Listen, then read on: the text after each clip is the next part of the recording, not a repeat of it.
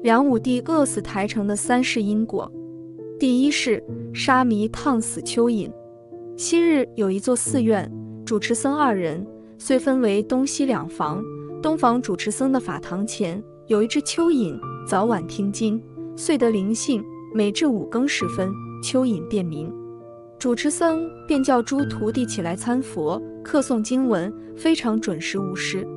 而西房主持僧见到东房师兄每日五更准时起来参佛、课诵经文，便要求西院诸徒弟。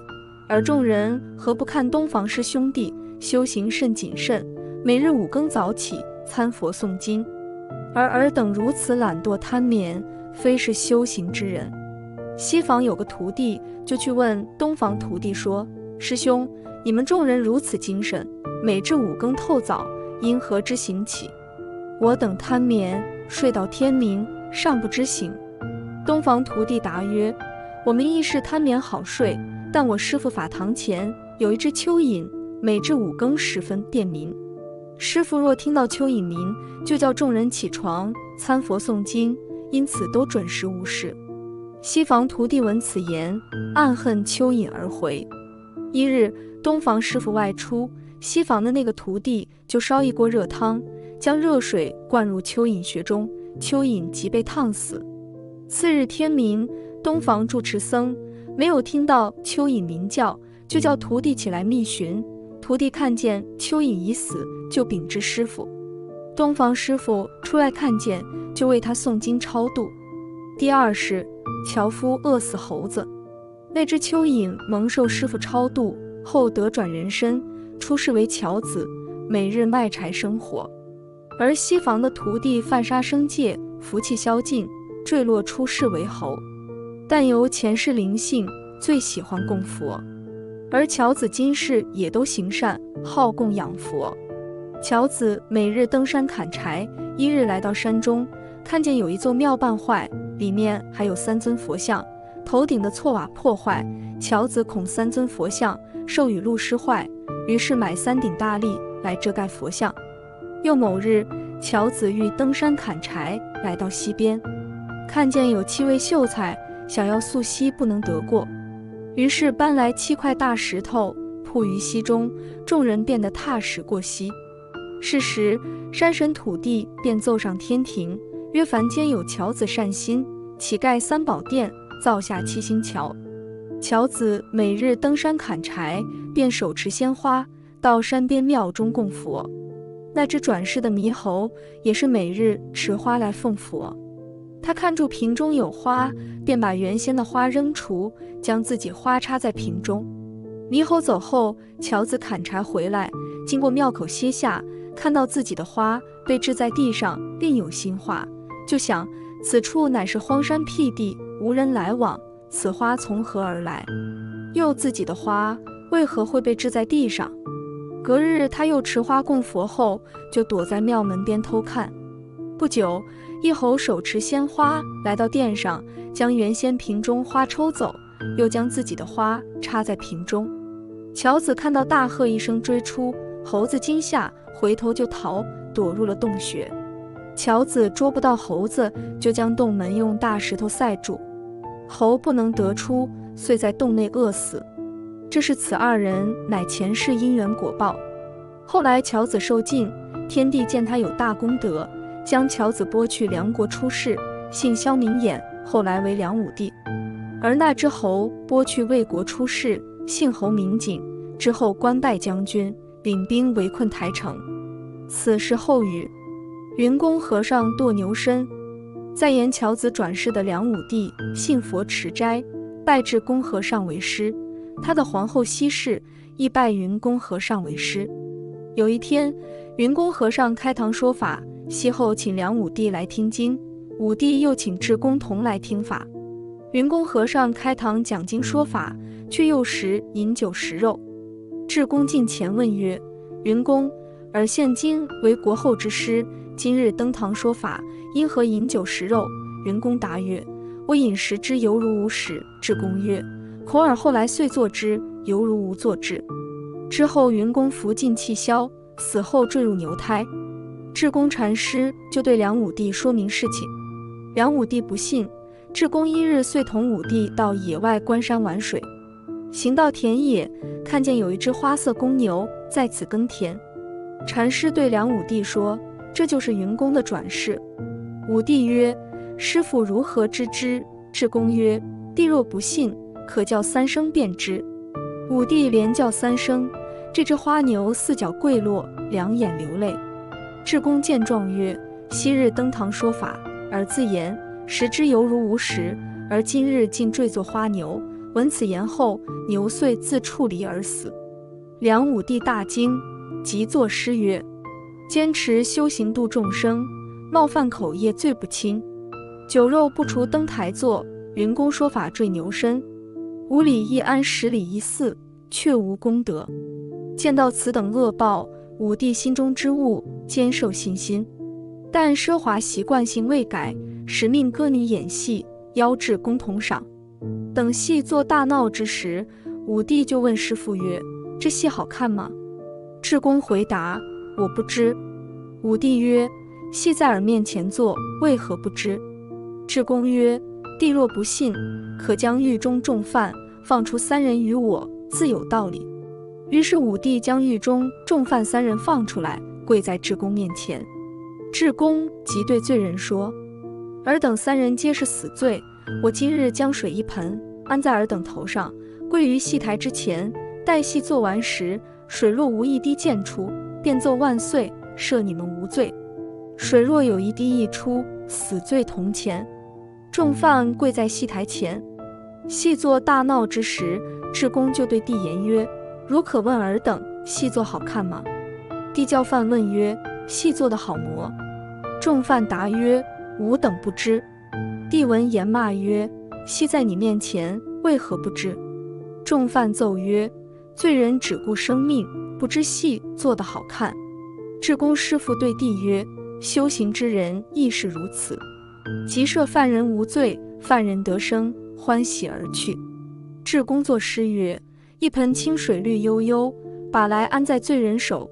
君王演戏无心看，只为性命不举头。”帝听此诗，心中之物随气奢华之心。有一天，帝向智公曰：“寡人自持斋布施，斋僧供佛，意欲五里造一庵，十里造一寺，功德可大乎？”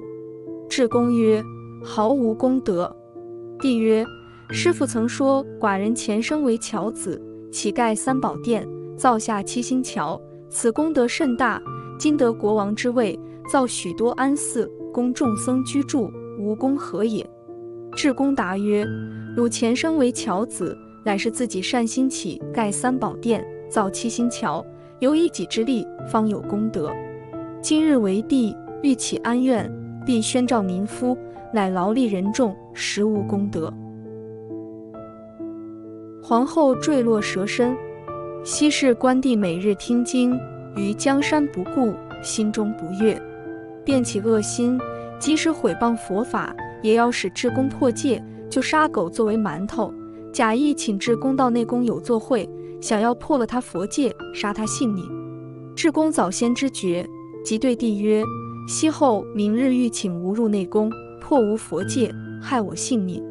于宫内若有难，吾将博鼓打响，吾主座即来救吾。”帝曰：“不妨。”皇后次日果来请师入宫。将馒头赐予吃，至公言受罪不敢吃。